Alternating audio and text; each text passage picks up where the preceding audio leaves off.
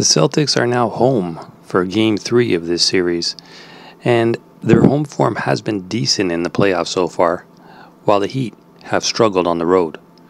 And as we know, Celtics have also been covering pretty consistently over the past few weeks. They've covered in 13 of their last 17 games. They are 4 and 2 at home so far in the playoffs. The Heat failed to cover in 3 of their away playoff defeats.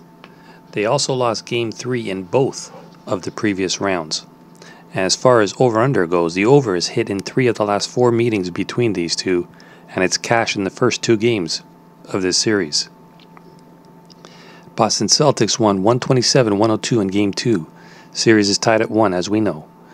Celtics lead the all time series 89 65, and they also won the regular season series 2 1. Miami failed to make the most of home court advantage in Game 2, getting blown out 127 102 on Thursday.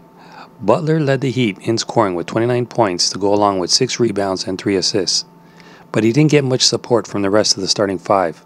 Adebayo finished with only 6 points and 9 boards. Gabe Vincent was the only other starter to hit double digits, putting up 14 points, 3 boards, and 3 assists.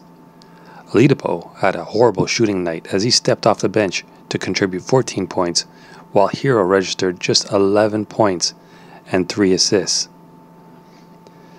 Boston's response was an impressive one after losing the first game, as they blew out the Heat 127 102 in Game 2.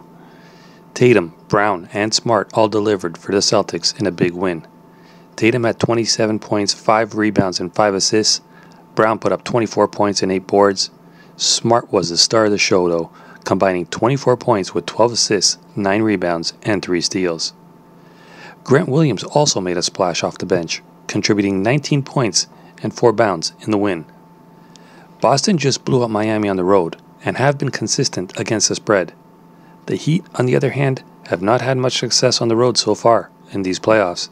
Therefore, we are going to tip Boston to win it in this one. Two plays we're going to go with. We're going with the Celtics, who are currently sitting at minus six and a half. And we're also going to go Miami Boston over 207 and a half. What say you? Let me know in the comment section. What are you doing? Tailing or fading? Whatever it is you do, may the winner be yours. Good luck, gang, and let's make today a profitable day for each and everyone out there. We'll see you on the flip side. This is Trending Rabbit.